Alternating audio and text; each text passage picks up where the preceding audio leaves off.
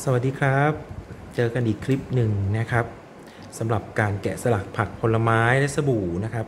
แน่นอนอุปกรณ์หลักๆ ของเราคือมีดใช่ไหมครับ ทีนี้ปัญหาที่เรามักจะพบ เวลาเราแกะคือมีดไม่คม เดี๋ยววันนี้ครูจะมาสอนการรับมีดให้คมกันนะครับ อุปกรณ์มีอะไรบ้างครับ ตามนี้เลยนะครับ ก็จะมีหินรับมีดครับ หินรับมีดเป็นแท่งนี้เนาะมันจะมี 2 ด้านนะครับ ด้านหนึ่งจะเป็นด้านละเอียด ด้านหนึ่งจะหยาบ นะครับ ถ้าเราไม่มีรับมีดแบบนี้ เราใช้กระดาษทรายก็ได้ครับ กระดาษทราย อันนี้เป็นกระดาษทรายน้ำกระดาษทรายคันเหล็กเบอร์ศูนย์นะครับเดี๋ยวละเอียดหน่อย เลือกอย่างใดอย่างหนึ่งนะครับ ข้อดีข้อเสียก็มีแตกต่างกันออกไปนะครับ เดี๋ยวเรามาดูว่าวิธีรับทำยังไงกันบ้างนะครับ มีที่เราใช้ไปแล้วไม่ค่อยคมใช่ไหมครับ วิธีรับนะครับ ให้วางเออเราจะเริ่ม จากด้านละเอียดก่อนหรือด้านหยาบก่อนได้หมดครับแต่ถ้าหมายครูครูจะด้วยความรวดเร็วครูจะใช้ด้านหยาบเลยนะครับ เวลารับเนาะถ้าเป็นมีดบางนะครับครูจะใช้มีดเนี่ยแนบกับหินรับมีดนะครับ แล้วก็ถูขึ้นถูลงเบาๆนะครับ ถูขึ้นถูลงนะฮะโดยใช้นิ้วชี้เนี่ยด้านที่เราจับมีดเนี่ยกดลงที่ใบมีดให้แนบกับหินรับมีดนะครับ และถูขึ้นถูลงเบาๆวนเป็นวงกลมก็ได้ครับนะครับ อย่างนี้ก็ได้นะครับ ถูขึ้นถูลง อย่างนี้นะครับ หินละมีดให้นำไปแช่น้ำให้อิ่มตัวก่อนนะครับ เพื่อลดแรงเสียดทานนะครับ จากนั้นกลับด้านครับนะครับ แนบเลยนะครับ แล้วก็ถูถูขึ้นถูลงแบบเบาๆอย่างนี้นะครับ แต่ไม่ใช่เบาอย่างนี้นะฮะคมมันจะคมช้านิดนึงถ้าอย่างนี้นะครับ กดนิดนึงกดให้แนบกับหินรับมีดนะครับและถูขึ้นถูลงหรือว่าวนไปวงกลมก็ได้นะครับดูแบบนี้นะ นะครับ สลับด้านครับ กรณีที่มีดของเรามีความคมอยู่แล้วแล้วก็ต้องการให้คมมากยิ่งขึ้นขณะที่เราแกะสลัก หรือว่าปอกตัดหั่นอะไรต่างๆนะครับ ก็ใช้วิธีกับหินรับมีดแบบนี้ครับ โดยการถูขึ้น อย่างนี้ครับ แล้วก็ดึงลงอย่างนี้ครับฉลบขึ้นฉลบลงแบบนี้นะครับ แนบแล้วก็ดันขึ้น กดแนบกดหินละมิดดึงลงอย่างนี้นะครับ คล้ายๆ กับที่เราเห็นผู้ใหญ่ในบ้านคุณตาคุณยายคุณปู่คุณย่าเนี่ยใช้มีแบบนี้ถูกับปากโอ่งบ้าง กับก้นชามกระเบื้องบ้างนะครับ หรือปากครกบ้างแล้วแต่นะครับ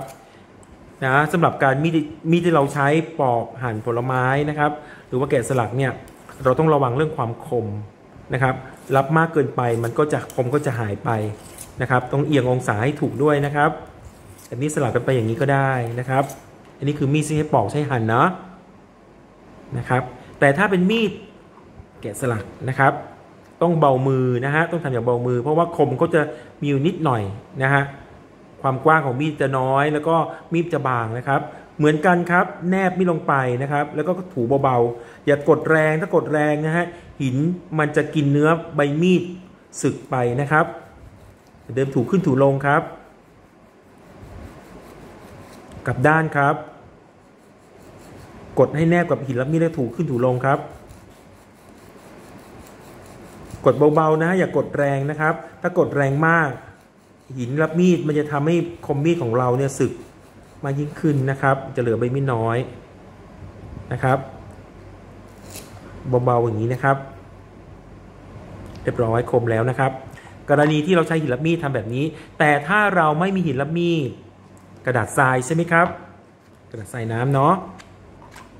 กระดาษทรายก็คล้ายๆกันนะครับ แต่กระดาษนี่กระดาษทรายข้อเสียของเขาคือเขาจะมีความคม ถ้าเรากดแรงมากคมมีดเราจะหายนะครับ เบาๆครับถูยิ่งเบาๆถูขึ้นถูลงเหมือนกันครับ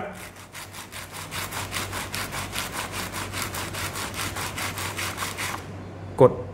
คมมีดลงครับ แล้วก็ยกสันมีดขึ้นนิดนึงเฉียงนิดเดียวนะครับ ถ้าแนบทีเดียวเนี่ยคมมันจะช้านิดนึงนะครับ ให้ดันดันมีดอย่างเงี้ยเอียงขึ้นนิดนึงนะครับ เอียงขึ้นนิดนึง อย่าเอียงมากเอียงมากคมนี้จะหายนะครับ ถูกขึ้นอยู่ลงเหมือนเดิมครับ ยกสันนี้นิดนึง กลับด้านครับ เห็นไหมครับ ยกขึ้นมานิดเดียวนะฮะ เล็กน้อยเท่านั้นนะครับ พยายามให้กระดาษทรายนี่วางระนาบ กับพื้นนะฮะ ถ้ามีส่วนกระดกอย่างเงี้ย มันจะบาดเอาคมมีดหายไปหมดนะครับ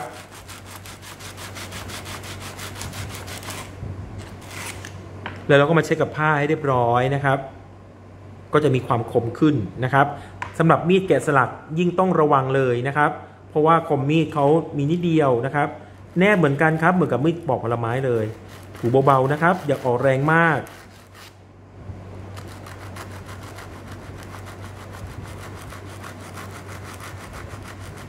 ถูเบาๆครับอย่างครับ แค่นี้ก็คมแล้วนะครับ ลองไปทำดูนะครับ ผลเป็นยังไงก็คอมเมนต์มาได้นะครับ เจอกันใหม่คลิปหน้านะครับ สวัสดีครับ